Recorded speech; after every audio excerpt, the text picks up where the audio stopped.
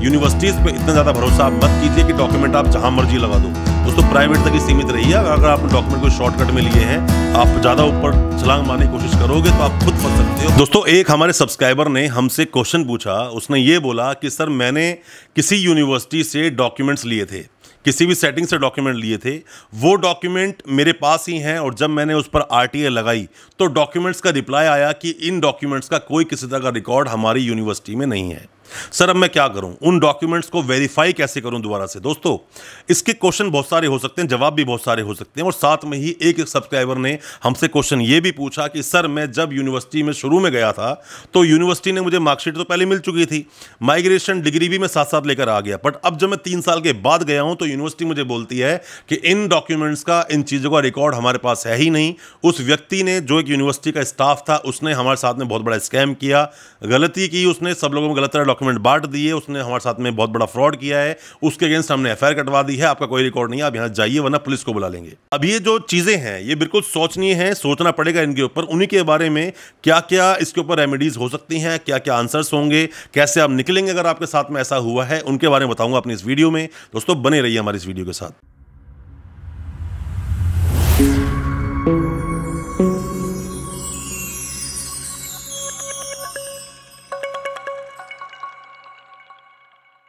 नमस्कार दोस्तों, स्वागत करता हूँ आप सभी का अपने इस YouTube चैनल पर, जिसका नाम है यूनिवर्सिटी इंडिया मेरा नाम है वीरेंद्र वर्मा। जैसा आप सभी जानते हैं, हम देश विदेश की यूनिवर्सिटीज़ कॉलेजेस उनके कोर्सेज को एक्सप्लोर एंड रिव्यू करते हैं और आपको बताते हैं सब कुछ जो आप जानना चाहते हैं। दोस्तों, आपने सेटिंग से किसी भी यूनिवर्सिटी से कोई भी डॉक्यूमेंट्स लिए आपने डॉक्यूमेंट्स ले लिए और आपने गवर्नमेंट वेरिफिकेशन नहीं कराई, या फिर, दोस्तों देखो गवर्नमेंट वेरिफिकेशन कराने के तरीके बहुत सारे हो सकते हैं। ज़रूरी नहीं है जो हम बता रहे हैं, बस वही प्रोसेस हो सकते हैं। बहुत सारे तरीके हैं गवर्नमेंट वेरिफिकेशन करवाने के। आपके डॉक्यूमेंट्स मिसप्लेस हो गए एफ़ आपने कटवा ली, ठीक है, ये भी तरीका बिल्कुल चल सकता है आपका। आप ऐसा करोगे तो भी चलेगा।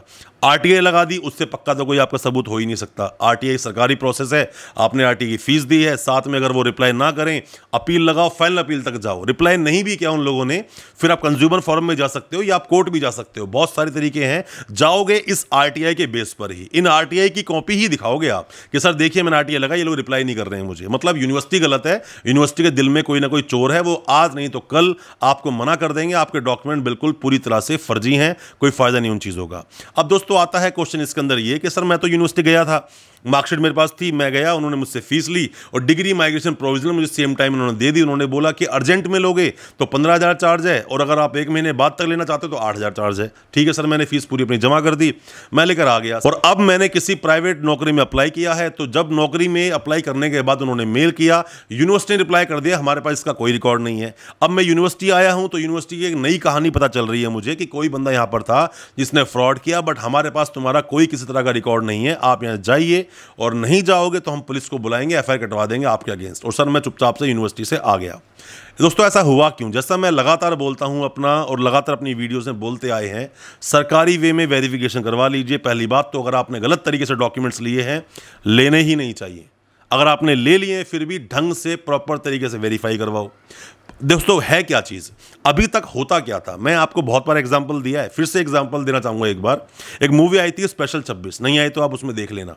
वो लोग क्या था कि जाकर बार बार बार जाकर किसी ना किसी नेता को लूटा करते थे। वो बोलते हम सीबीआई से हैं इनकम टैक्स से हैं जाकर लूटा करते थे। लूटने के बाद में वो नेता लोग कंप्लेंट नहीं लिखवाया करते थे। क्यों? क्योंकि नेता लोग खुद चोर है। चोर कंप्लेंट क्या लिखवाए? अगर लिखवाएगा तो ईडी पीछे पड़ जाएगी उनके।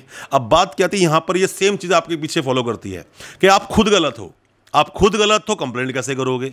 बट हाँ अगर आपने पहले उन डॉक्यूमेंट को किसी भी सरकारी तरीके से वेरीफाई करा लिया और यूनिवर्सिटी मना कर गई तो आप कंप्लेंट ज़रूर कर सकते हो। बहुत बड़ा एग्ज़ाम्पल है माना भारती का, मैंने आपको पहले भी दिया है कि अगर यूनिवर्सिटी ने एक बार सही तरीके से गवर्नमेंट वेरिफिकेशन दे दी, फिर मना नहीं कर सकते। मना किस तरीके से करोगे? मना करोगे तो आप खुद फंसोगे। तो वहाँ पर यूनिवर्सिटी आपके साथ खड़ी रहेगी। वहाँ पर खड़ा होना पड़ेगा और यूनिवर्सिटी आपको कभी डिनाई नहीं करेगी। अपने डॉक्यूमेंट्स को जेनवन तरीके से वेरीफाई शुरू में ही अगर वो इंसान करा लेता और फिर यूनिवर्सिटी की यूनिवर्सिटी मना करती, उसी वक्त वो लेटर दिखाता तो आपने इसको वेरीफाई कैसे किया? अब मैं कंप्लेंट आपके अगेंस्ट करता हूँ कि आपने पहले गलत डॉक्यूमेंट को वेरीफाई किया कैसे? ऐसा नहीं हो सकता कि यूनिवर्सिटी के रिकॉर्ड में फिर वो डाटा ना हो। यूनिवर्सिटी कुछ भी चाहे बोलती रहे कि, सर, नहीं, मैंने तो उस बंदे ने गलत वेरीफाई किया, इसने किया। तो मतलब यूनिवर्सिटी आप खुद मैनेज नहीं कर पा रहे हो। तो यूनिवर्सिटी को बंद करो। यूनिवर्सिटी को आप अगर बंद कर दोगे तो ज़्यादा बेहतर है, स्टूडेंट का मतलब भविष्य तो खराब नहीं होगा। और कोर्ट हमेशा स्टूडेंट्स की सुनता है, अगर स्टूडेंट के पास, अपने पास अपनी बेगुनाही का कोई सबूत हो तो। और साथ में दोस्तों, मैं आपको बता दूँ डॉक्यूमेंट्स को आपने यूज़ किया। मतलब षड्यंत्र का हिस्सा तो आप हो स्टूडेंट हो कंसल्टेंट हो यूनिवर्सिटी हो। कोई भी फंसेगा, फंसोगे आप सारे। क्योंकि आपने जो डॉक्यूमेंट्स को यूज़ किया आपके अंदर खुद एक बैड इंटेंशन थी। मतलब कि आप जो इंटेंशन थी, वो खुद ही इलीगल थी कि मैं डॉक्यूमेंट से कुछ बेनिफिट लेने वाला हूँ। और गलत चीज़ों से डॉक्यूमेंट पर अगर आप बेनिफिट लोगे तो फंसोगे। आप भी, आपके अगेंस्ट भी एक्शन ज़रूर होगा।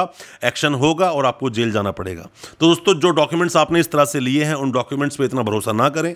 डॉक्यूमेंट्स को वेरीफाई कराएँ। चाहे तीन साल हो गए, चाहे चार साल हो गए हों बट फिर भी उन डॉक्यूमेंट्स को वेरीफाई अगर आपने करवा के रखा है तो आप बिल्कुल सेफ़ हो, वरना ये यूनिवर्सिटीज़ आपको जमर जी मना कर सकती हैं और ऐसा होता है। और दोस्तों स्टूडेंट्स को, जिन लोगों को हमारी बातें समझ नहीं आती, समझ ज़रूर आएगी, बट उस वक्त के बाद जब वो फंस जाएँगे इस केस में, और तब उन्हें समझ आएगा कि वहाँ जब बताई जा रही थी चीज़, सीख कि वहाँ जो चीज़ें बताई जा रही थी उस यूट्यूब चैनल पर, वो बिल्कुल ठीक थी। अब मैं फंस गया हूँ। अब तो निकलने का भी कोई रास्ता कहीं से नहीं है। तो दोस्तों, मैं आशा करता हूँ, जो मैंने आपको बताया है कि आप डॉक्यूमेंट अगर यूनिवर्सिटी ले भी लेते हैं डिग्री माइग्रेशन तो आप उसको बाय पोस्ट मंगाइए, अपने घर पर ज़्यादा बेहतर होगा। डॉक्यूमेंट्स को पहले आप वेरीफाई करवाइए और यूनिवर्सिटीज़ पर इतना ज़्यादा भरोसा आप मत कीजिए कि डॉक्यूमेंट आप जहाँ मर्ज़ी लगा दो। दोस्तों प्राइवेट तक ही सीमित रहिए। अगर आपने डॉक्यूमेंट को शॉर्टकट में लिए हैं, आप ज़्यादा ऊपर छलांग मारने की कोशिश करोगे तो आप खुद फंस सकते हो, पर मैं आपको दोस्तों बता दूँ। कि देखो, हर इंसान अपने कुछ ना कुछ बेनिफिट के लिए कुछ कोशिश करता है, घर परिवार को चलाने के लिए कुछ करता है, पर मैं इन चीज़ों को गलत नहीं मानता हूँ। गलत इसलिए नहीं मानता हूँ कि हमारे देश का एजुकेशन सिस्टम बहुत बिगड़ा हुआ है। यहाँ पर क्या है कि लोगों की क्वालिफिकेशन देखी जाती है कि आपने ग्रेजुएशन की मास्टर्स की पीएचडी की तो ही नौकरी देंगे। यहाँ पर वो देखते नहीं है कि उसके अंदर एक्सपीरियंस कितना अच्छा है। दोस्तों चैप्टर्स पढ़ के हमने मास्टर्स पास कर ली। चैप्टर्स पढ़ के ग्रेजुएशन पास कर लिया। अरे, उन चैप्टर के हमारे लाइफ में काम आने वाली चीज़ें नहीं है। आप प्रैक्टिकल नॉलेज देखो, इंसान के पास प्रैक्टिकली नॉलेज कितनी है, कितना समझदार है, किस फ़ील्ड में कितना आगे तक वो निकल सकता है, उसके बेस पर मतलब हमारी काबिलियत के बेस पर अगर नौकरी हमें मिलेगी तो आगे जाकर ज़रूर ये सब प्रॉब्लम सॉल्व हो सकती है, सरकार की बहुत बड़ी समस्या है, इसीलिए स्किल डेवलपमेंट के कोर्सेज सरकार चलाती है बट वो सक्सेस क्यों नहीं हो पाते? क्योंकि स्किल डेवलपमेंट के कोर्सेज तो आए बट उसके लिए नौकरियाँ नहीं है। जब तक नौकरी नहीं आएगी, जब तक ये सॉल्यूशन निकलेगा नहीं, जब तक प्रॉब्लम्स होती रहेगी। और दोस्तों, हम बता दें आपको कि हम हर उस स्टूडेंट हर उस कंसल्टेंट के साथ खड़े हैं जो समस्या में फंस गया है, या समस्या में फंस सकता है। कोई उस डरा धमका रहा है, आप हमसे कॉन्टैक्ट करें। हम आपकी मदद ज़रूर करेंगे और हम बिल्कुल पीछे नहीं हटेंगे, अगर आप बिल्कुल ठीक है तो। दोस्तों अच्छा लगा आज का वीडियो। वीडियो को अभी लाइक करें और हमारी वीडियो को ज़्यादा से ज़्यादा अपने दोस्तों, परिजन, परिवार में शेयर करें ताकि वो भी अपने आप को एजुकेशन से जानकार बना सकें क्या कुछ चल रहा है हमारे देश दुनिया की एजुकेशन में और कोई किसी भी तरह की वो इसकी स्कैम में ना फंस जाएँ, अपने आप को सेफ़ रख सकें। आप सेफ़ होंगे, आप तंदुरुस्त होंगे, इस कोविड नाइन्टीन से आप पार पा जाएँगे, बिल्कुल। प्रॉब्लम नहीं होगी, आप और आपके परिवार को यही हम कामना करते हैं। बहुत बहुत शुक्रिया दोस्त, धन्यवाद हमारी वीडियो के साथ बने रहने के लिए।